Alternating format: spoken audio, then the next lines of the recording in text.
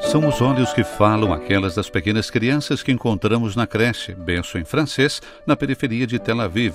Um jardim de infância desejado e administrado pelo Vicariato de São Tiago para os católicos de língua hebraica e pela Coordenação para a Pastoral dos Migrantes.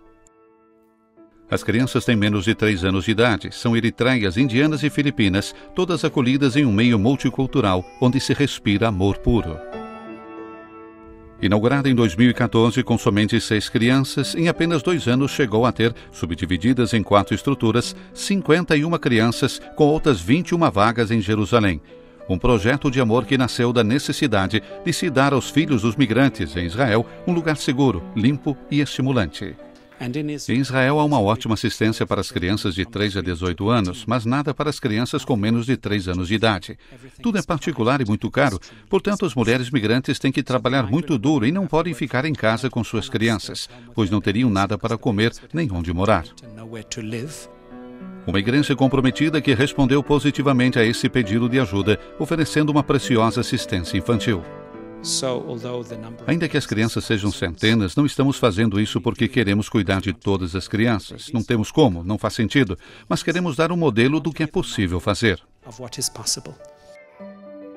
Com imenso carinho, paciência e devoção, simples mães ou também pais, religiosos e não, seguindo o modelo Núcleos Familiares, elaborado pela organização israelense UNITAF, com quem a igreja colabora, cumprem diariamente sua missão: cuidam dos mais fracos.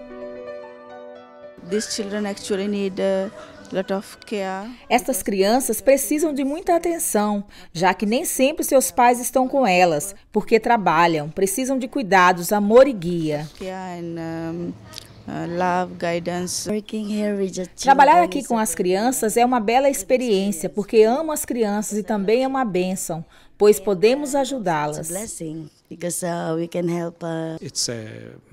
é um projeto multiforme. Temos uma equipe fantástica com uma ótima inclinação à colaboração com as organizações israelenses, com nossos benfeitores, entre as várias pessoas, em colaboração com a comunidade local daqui, nossos paroquianos que nos apoiam. Todos juntos é uma verdadeira bênção.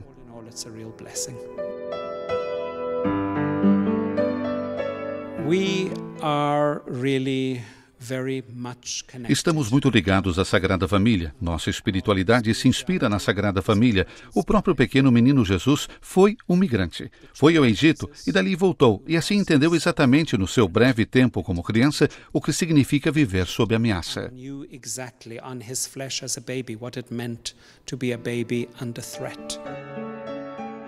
É aqui que as palavras do Santo Padre se cumprem. Para Jesus, lembra-nos o Papa Francisco, as crianças eram como reflexo do caminho até o Pai.